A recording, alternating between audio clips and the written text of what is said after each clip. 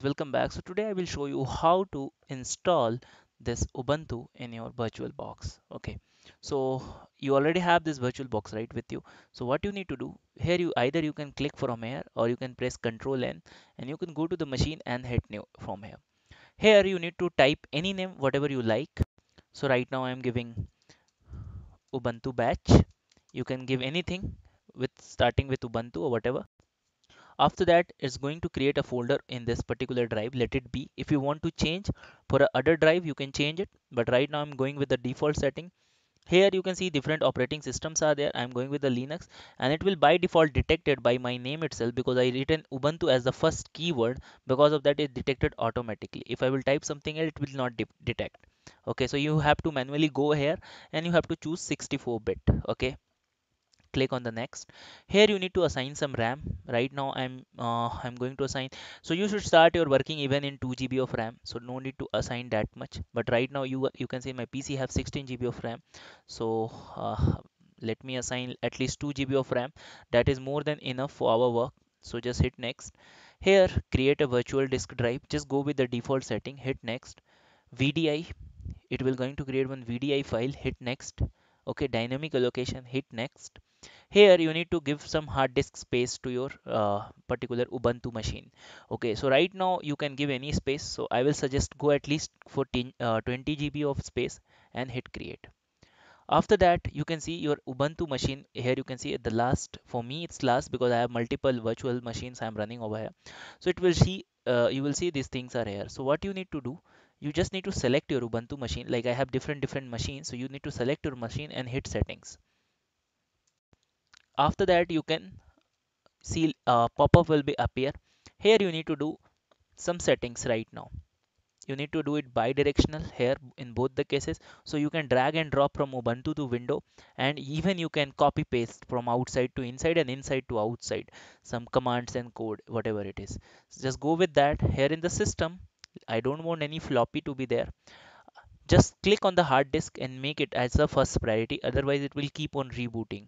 That many people face this issue. Go to the processor and if you want you can give more processor if you have. Okay? If you don't have not not an issue at all. After that come to the display. Here you can see nothing need to be required. Go to the storage. Okay so in the storage before going to the storage what you have to do if there are multiple things you can set from here. You can set audio.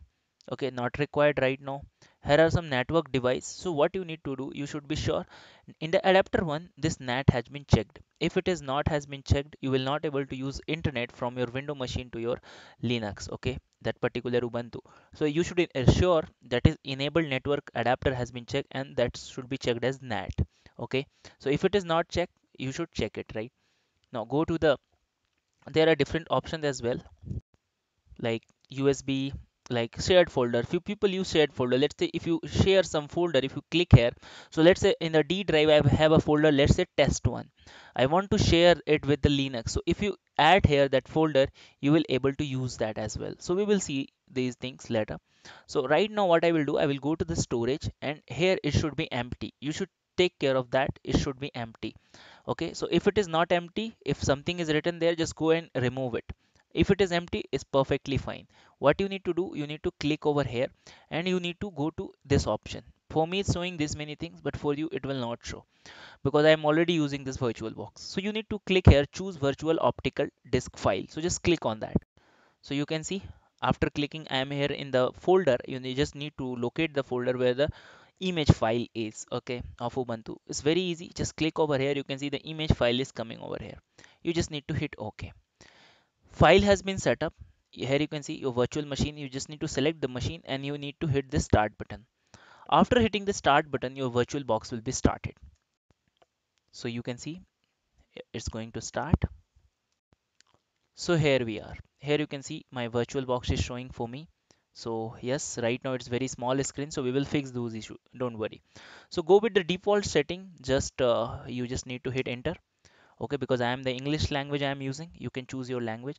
There are multiple options try ubuntu install ubuntu. You should go with the try ubuntu without installation. Okay? And here you can see. Even if you want you can go with the install ubuntu as well. Not an issue because it's a virtual box. Okay so it, everything is virtual. It's not going to affect your real os so few messages will be displayed let it be but it will start in a moment so you can see the ubuntu pop-up is coming in front of me. So if you are not able to see your mouse see my mouse pointer is here but i am keeping my mouse my mouse pointer inside ubuntu area. I'm not able to see. So for that just hit right control key. So that is used to just come out of that. Okay. So let's see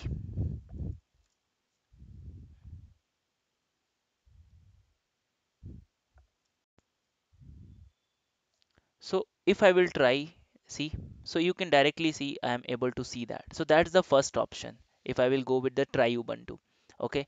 Now let me show you if we will install the ubuntu then what will happen okay? So that's the try ubuntu that's the first one. You can go and have a look. So in the next video i will show you how to do install ubuntu